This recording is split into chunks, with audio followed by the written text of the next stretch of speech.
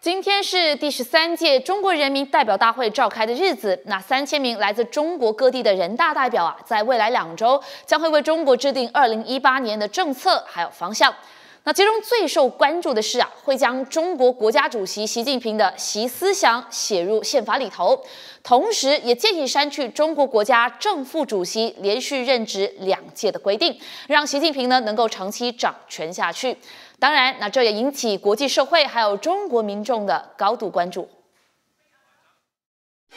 一场经过精心准备、展示中国团结和力量的大会——第十三届中国人民代表大会，在北京天安门广场上的人民大会堂里召开。国家主席习近平与其他政治局常委等领导都出席了人大开幕，而总理李克强也在会上发表了最后一份工作报告。他说，今年中国经济增长目标为百分之六点五左右。预算赤字率为百分之六。经过艰苦努力，我们顶住了经济下行压力，避免了硬着陆，保持了经济中高速增长，促进了结构优化，经济长期向好的基本面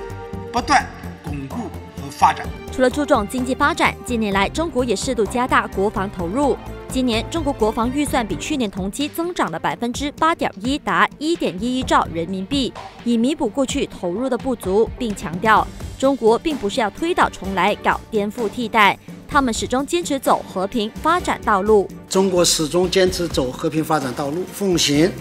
防御性的国防政策。中国的发展不会对任何国家构成威胁。相隔十四年，本次全国人大再次启动修宪。草案建议对宪法做出二十一项修改，其中最受瞩目的是将宪法第七十九条文关于国家正副主席的任职删去连续任职不得超过两届的条文。党和国家的领导体制的更加科学、合理和完善，更加顺应民心。非常期待，因为新时期新征程需要有新的宪法来保证我们的各项政策的实施，呃，所以说非常期待。这两个礼拜的事情很多嘛，包括要的宪法的要修改，对国家有效的一些的修改，我支持的。